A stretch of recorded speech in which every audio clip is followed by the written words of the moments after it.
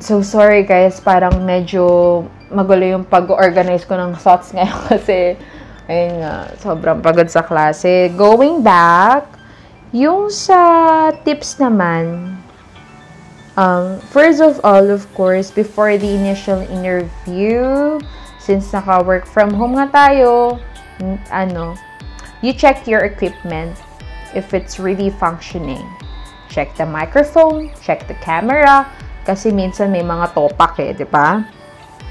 Tapos, I suggest na i-download nyo yung free trial ng Crisps. Kasi nga may noise cancellation siya. As much as possible, you go to your room or quiet place sa kasulok-sulukan ng bahay nyo. Kasi, importante yon Ayan, para, di ba, tapos, decent professional. Hindi naman required kay Akatsok na sobrang formal ka. Kasi naiilang din yung mga student na parang terror ka or strict.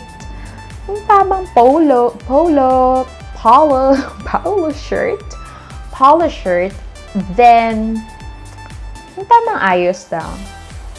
Ayun. And, and, kasi kapag may student, hindi mo pwedeng sabihin yung nationality mo to, to make it sure um, maiwasan natin yung discrimination. Ayun. So, you can see that you are from America, you are from outer space, pero huwag niyo sasabihin na sa Philippines kayo. Okay? And during the training, make sure that kabisado niyo yung tools ng platform. Kasi ako, during the when I had the de- final demo before, my student kept on saying, Teacher, I want my pencil, I want my pen. Hindi ko alam kung asan yung pen doon. May, meron doon kasi yung parang crown na blue-green. Ayan, siguro magtututorial din ako kung paano gamitin yung mga platforms. Then, of course, prepare your resume. During the interview, during the interview, wag mo nang i-discuss yung mga nasa resume mo. Tell about some tell something about yourself. Yourself. Wag ka magkwento ng life ng relatives mo or someone. Ano, yung mga interesting about you.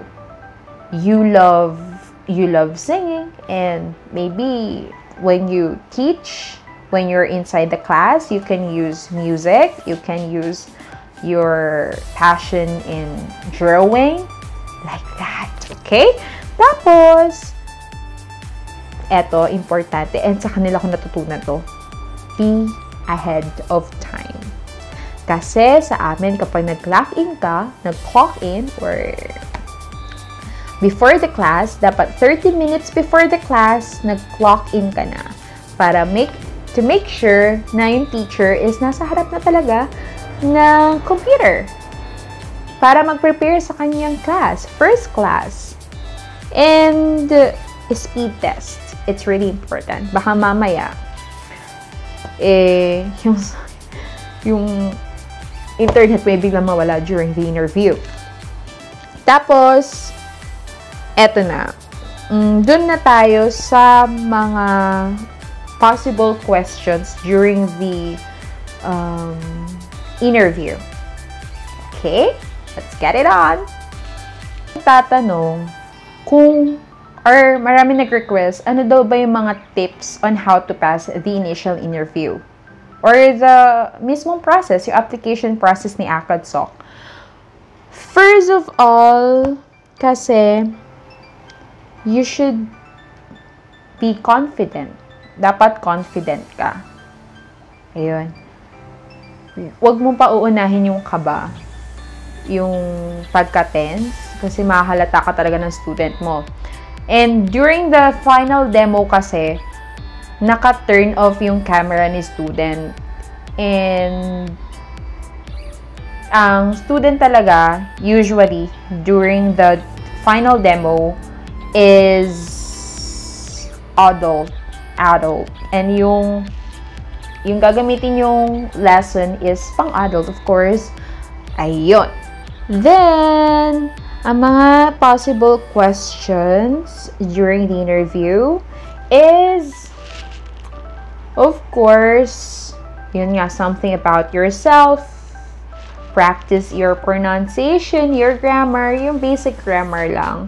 Ayun, hindi nyo naman nga, like what I've said earlier, you don't need to be perfectionist. Hindi nyo kailangan ng perfect na grammar at perfect na pronunciation. Kasi, here in Akatsuki, there, there is always room for improvement. Kaya, no need to worry about it. But of course, you need to be aware also. Be mindful. Okay, baka naman talagang yung mga English mo eh, I am talagang ganun. talagang ano eh, syempre, you need to practice them in the, in the, in front of the mirror. You can re record your voice. It depends on you, on how are you going to build your self-esteem. Ika nga. Then, eto mga tanong. Kasi, during the inter- interview, laging ito yung highlight. Yung mga situational questions. Paano yung, yun nga, ito yung talagang matitips ko sa inyo. Mm, kasi, sa mga talagang teaching na yung profession, magiging madali to para sa inyo. Pero dun sa mga wala pa experiences, hindi ko naman sinasabing magiging mahirap sa inyo. Pero, just based on experiences and talagang think of your own way. Paano ba, paano ba yun bilang teacher? First, first question, paano mo i-introduce yung isang word if zero beginner? First, of course, as a teacher, you can show a picture you can show, for example, cat, diba? Cat. You can do the ganyan-ganyan, yung mga facial expressions or yung mga gestures. You can do the sound. Yan. Usually, yung mga bata, lalo na pag zero beginner, they will they will speak Chinese. Yan. Yung pinaka last option mo is you're going to type yung Chinese translation. So, ayun yung mga possible mong isagot. But it's depends on you pa rin. Yung mga techniques mo or method, yung strategies mo kung paano mo masasolve yun. Then, paano, paano? If, if yung student is gusto lang maglaro na maglaro and he or she is not willing to listen anong gagawin mo? Yan. You can, pwede mo ilabas dun yung mga talent mo. Kasi ako, kapag hindi nakikinig yung student ko, kinakantahan ko yan. Or mag-play kami, kahit rock, paper, scissors, depende sa trip niya. Basagan lang din kayo ng trip. Ayan, di ba? For example, you love me, yung student, napapansin mo, parang ang hilig niya sa ano eh, sa mga animals 'di ba? Pakitaan mo ng mga mask ng animals. Ewan ko lang kung di yan uupo sa harap mo, 'di ba? Ganyan. Dapat kunin mo din yung ano ng bata. Hanapin mo yung pinaka ano niya. Para lang yung ano eh, sa love life. Ayan. Then, paano if your student is brat? Yung feeling alam alaman lahat anong gagawin mo doon? Yung, for example, yes, teacher, I know, I know. Yes, yes, teacher, I know, I know. I have that, I had that student before. And one um, thing is, ang magagawa mo dun is, you can approach him or her or give him or her ad, uh, an advice. Oh, my dear, uh, you know, if you talk to the to the to the other to the other people, especially to foreign people, it's it sounds unethical, unethical or um, disrespectful if you say, ano, ano, ano, ano, ano. Ganyan. So, medyo, uh, ano yung more yung student na, oh, I see. Kasi sometimes naman yung mga student, may student ako, puro wait, wait a moment, wait a moment. Hindi niya naman intention na mag-disrespect. Pero, siguro yun yung naituro sa kanya na ganito yung sasabihin para If you want to say ganyan, ganyan. Ayun. Paano kapag yung student mo is umiiyak? What are you going to do? Kalma lang. Yun ang pinakamasasabi ko, kalma lang. Meron naman doon sa table yung customer assistance na if the student, kapag hindi mo na talaga kaya i-handle yung student, you can call the customer assistance. I mean, the button, pwede mong pindutin. Tapos, pwede mo i-call yung attention ng parents or mag-type ka, oh, student, this is recorded, ganyan-ganyan, or bulay mo lang yung student and kalma lang. You can play a song, you can flash a cartoon character, and ayun, it depends on you pa din, di ba? Pero kapag adult, tas feeling matalino, pwede mo rin gawin yung, oh, you know, it sounds disrespectful na ganyan-ganyan. Ayun. Then, tapos, ano pa ba? How are you going to correct the student? There are two types of correcting your student. It's either direct or indirect. When you say direct, of course, doon sa mismong na-commit niya yung mistakes, paano mo siya sasabi, pwede mo sabihin na, oh, that's a good try. Well, let me help you how to say it in better way. Like that. If you want indirect, ginagawa ko to madalas sa mga adult ko eh. I'll type it kung ano yung mga incorrect dun sa chat box or either sa notepad ko. Then, yung indirect kasi, you, you will mention it at the end of the class. Ayun. Ayun. So, ang pinaka-importante naman kay Akadsok is, is, paano magiging effective yung class mo? Paano magiging lively? Are you a perky teacher? Ano, ano ka ba? Ano ka ba bilang teacher? Okay? And then, of course, yung pinaka-importante, why should we hire you? Why should I hire you?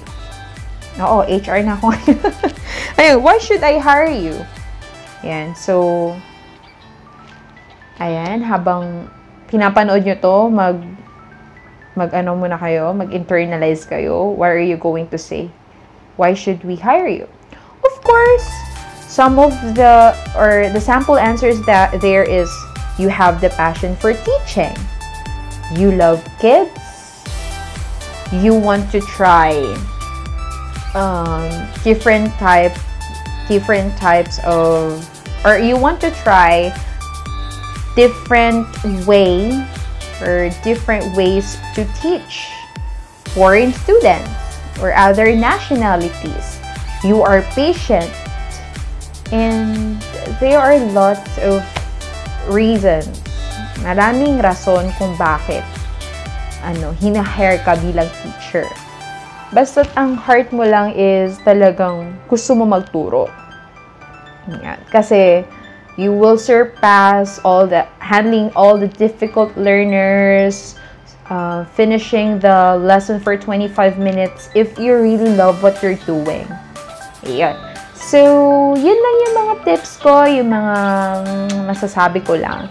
If you have more questions, okay, about the salary, about the platforms, about the lesson. Maybe I will upload upload it on my next videos. Ayun, if you have questions or meron kayong gustong sagutin ko sa mga susunod na videos, you can comment down below. Ayun lang. And, sige, sige na nga. Ang salary rate sa office space is from 92. Basta malalaman nyo na lang. Goodbye muna ngayon. Pero, don't, don't forget to give like, share, and subscribe, and hit the notification bell. Okay? So, wait lang. Baka may nakalimutan pa ako eh. So far, yun na naman. And God bless sa mga mag apply And sa referral link, sabihin nyo lang yung pangalan ko. Char.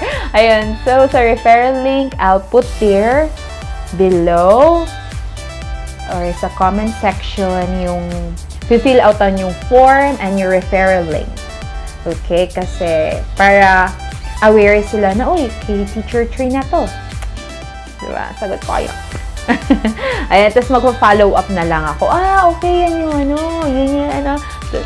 Ayun, so, kita kids and I hope maging ka-work ko kayo sa office base, Alabang office ng ACAD sa See you and take care always. Goodbye. This is Teacher Trina.